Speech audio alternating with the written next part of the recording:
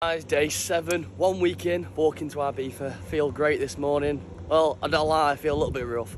Had a few beers last night, um, but the sun's shining. I'm in good health. My body feels all right to some extent. Uh, what more could I ask for?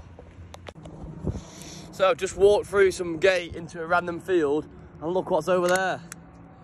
Silverstone Racecourse.